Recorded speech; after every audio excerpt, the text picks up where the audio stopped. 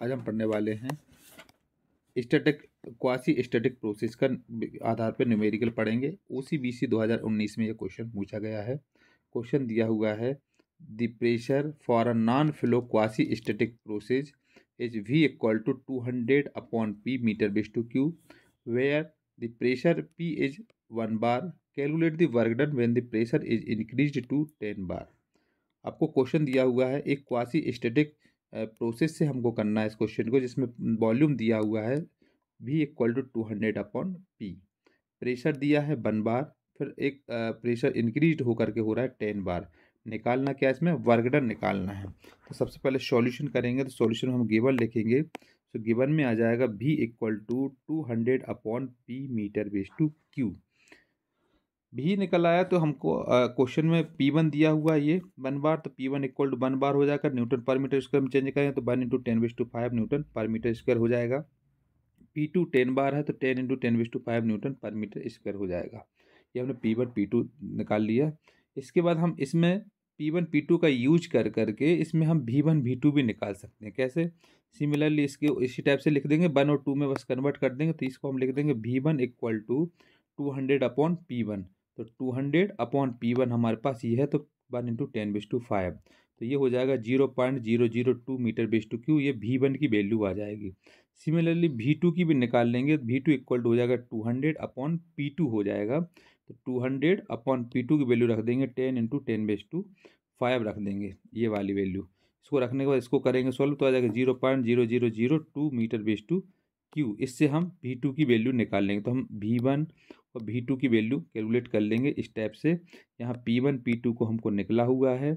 इसके बाद हम इसमें क्या करेंगे?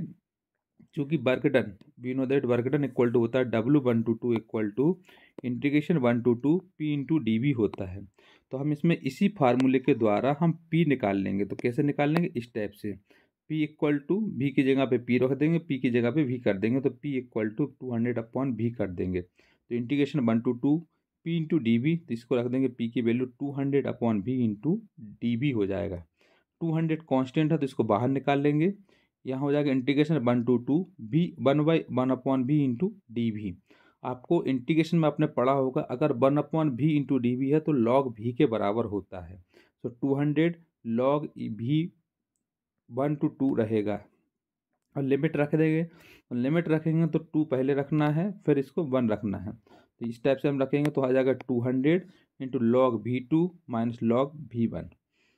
अब वी टू हमारे पास कहाँ दिया? ये दिया है, इसको हम रख देंगे तो log zero point zero zero zero two minus V one हमको ये दिया हुआ तो हो जाएगा log E zero point zero zero two two hundred के मल्टीप्लाई में। Log zero point zero zero two हमको कैलसी से निकाल लेंगे जब हम तो आ जाएगा minus three point six nine eight nine. इसकी वैल्यू जब हम निकाल लेंगे log zero point zero zero two की कैलकुलेटर से तो आ जाएगा minus two point six nine eight nine आएगा तो माइनस से माइनस प्लस हो जाएगा तो इस टाइप से ये हो जाएगा। इसको जब हम सॉल्व करें तो ये इसका आ जाएगा वन, और टू हंड्रेड से मल्टीप्लाई करेंगे तो ये माइनस टू हंड्रेड जूल हो जाएगा। इस टाइप से हम इसका वर्कडन निकाल लेते हैं। Work done W one to two equal to minus two hundred joule के बराबर रहेगा। इस टाइप से इस क्वेश्चन को कंप्लीट करना है। ये क्वेश्चन ओ सी बी सी दो हज़ार उन्नीस में पूछा गया है। वेरी मोस्ट इंपॉर्टेंट है। क्वासी स्टेटिक प्रोसेस के आधार पर ये क्वेश्चन है। इस क्वेश्चन को कंप्लीट करना है। ये क्वासी स्टेटिक प्रोसेस के आधार पर क्वेश्चन किया जाएगा। इसमें हमको ये हिंट दी जाएगी।